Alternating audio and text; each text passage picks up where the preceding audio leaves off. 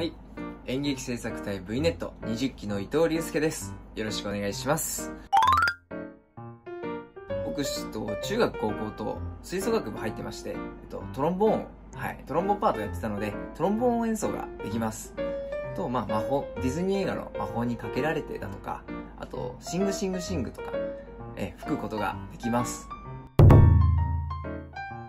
そうですね。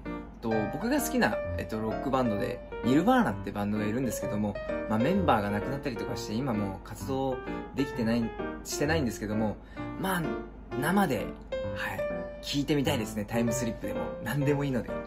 はい。えっとそうですね。僕最近すごいプロレスにハマってるんですよ。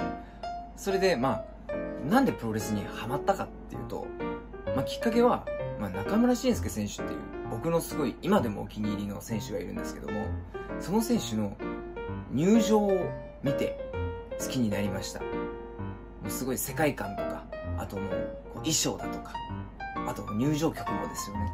すごいかっこよくて一発でえもうチコロでした。はい。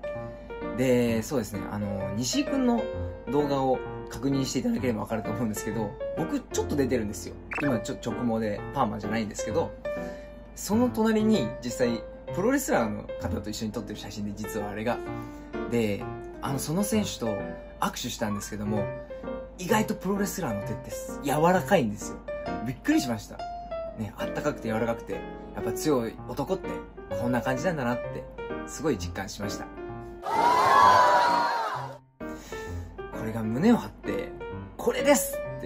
言えるものがちょっとまだ特にないんですよね。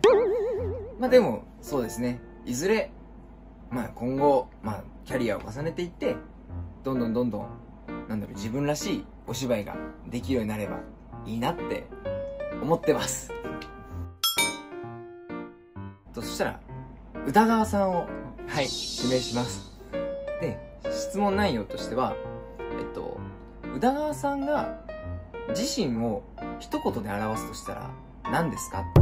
っていう質問なんですけどもなんでこの質問になったかっていうと僕の中で宇田川さんってすごいミステリアスな存在なのでどうそのミステリアスな人が自分のことをなんて表現するんだろうって気になるのではい回答お願いします。というわけで演劇制作隊 V ネット20期の伊藤隆介でした。